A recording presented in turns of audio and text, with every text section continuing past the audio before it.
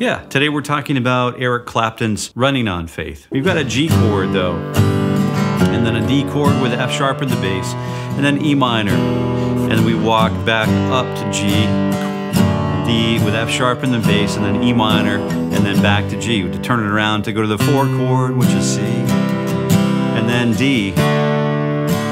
Hang out there for two bars, and then back to G, C, and then back to G.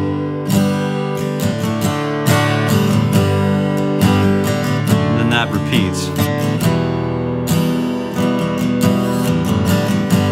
Down, up, down, up, down, down, up, down, up, down, down, up, down, up, down, down, up, down, up, down, down, up, down, up, down. But You could also use that two and three and four and one up, down, up, down, up, down, up, down.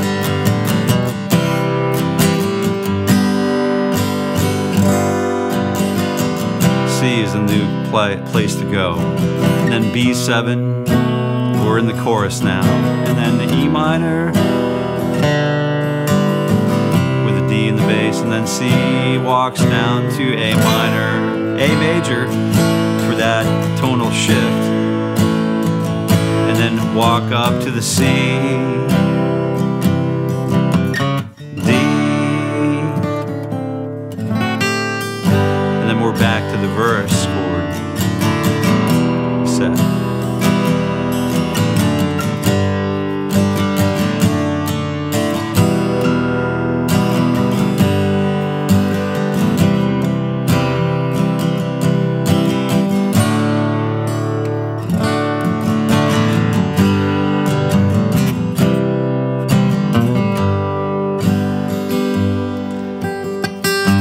then that's the form of the song, and then we're going to repeat that. And we're also just going to jam it out. We could also use some palm muting right here in the right hand and just kind of dampen the sound.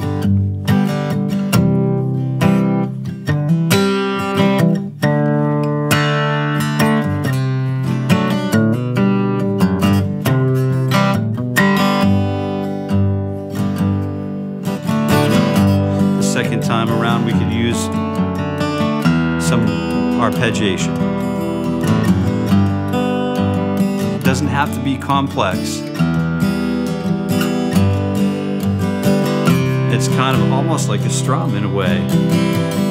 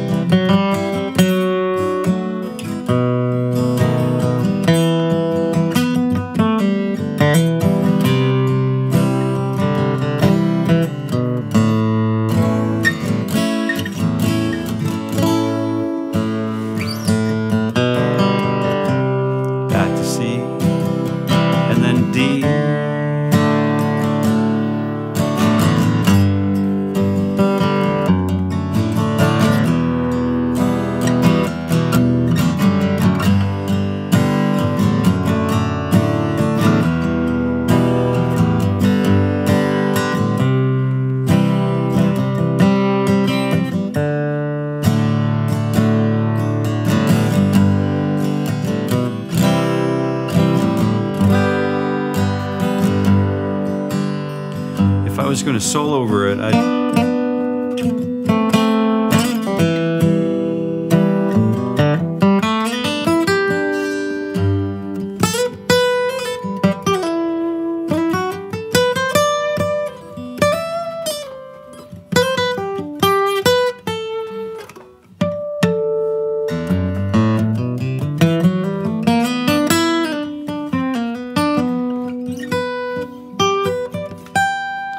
I'd really work on, you know, major pentatonic to start with, but definitely learn the melody. So if the melody starts on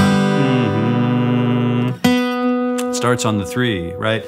I would learn that melody in the very first and uh, part of the guitar, the lowest and most easily approachable part uh, of the guitar.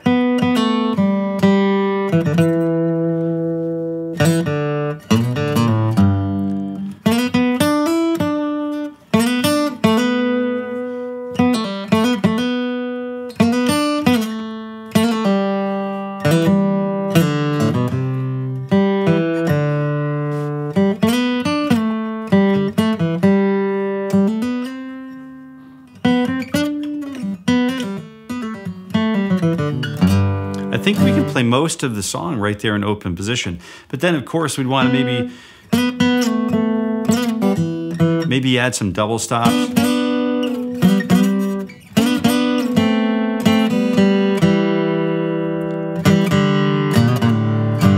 Maybe you maybe pull from some of the G major pentatonic scale right there in open position.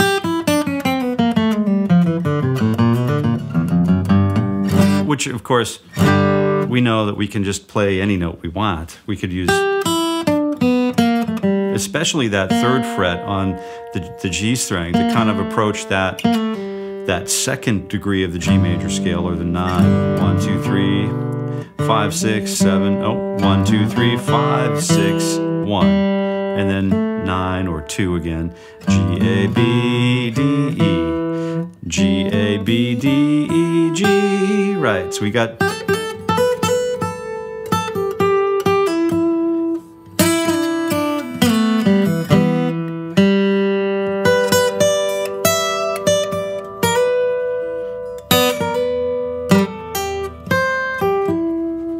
And we could use triads that that follow the chord progression because frequently the chord the melody is derived from the chords that are behind it in the format of the song right? The form of the song.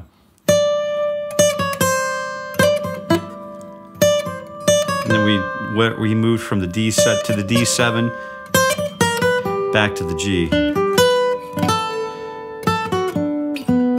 the E minor back to the G again, E minor, and then to the C major,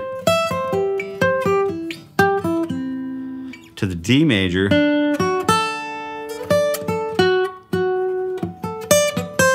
back to G, to the C, back to the G, so we can also find our way through new melodic and improvisational lines that way.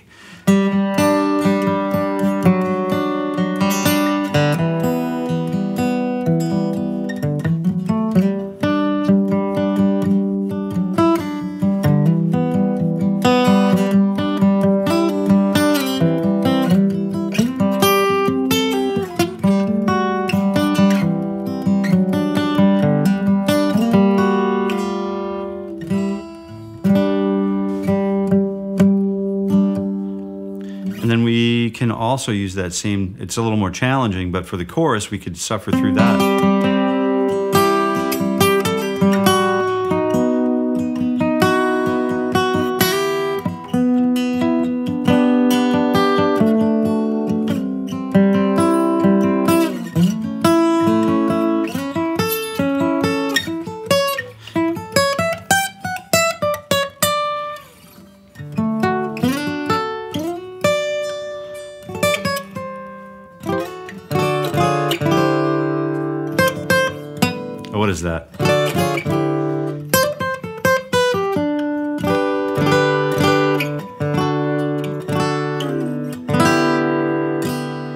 Could also use pedal tones to bring the song into new directions.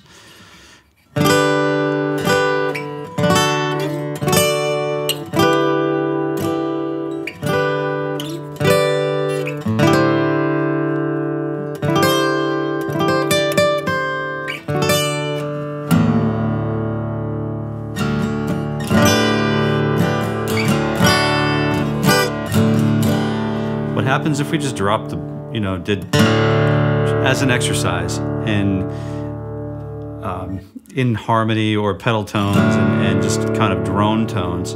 What happens if we play a really well known song over a bed of drone tones?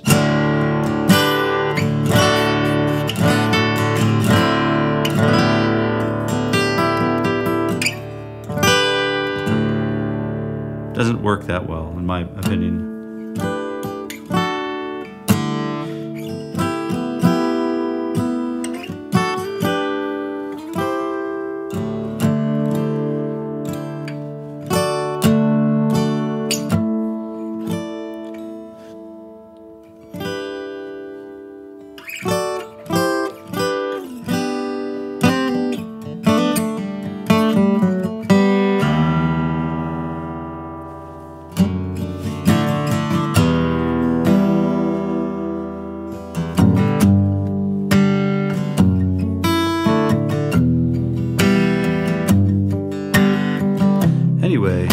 That's a pretty good place for us to end this song today.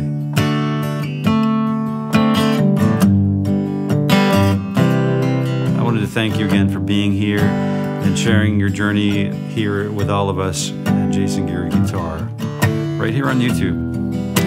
You know, liking and sharing and subscribing to the channel is definitely something we appreciate.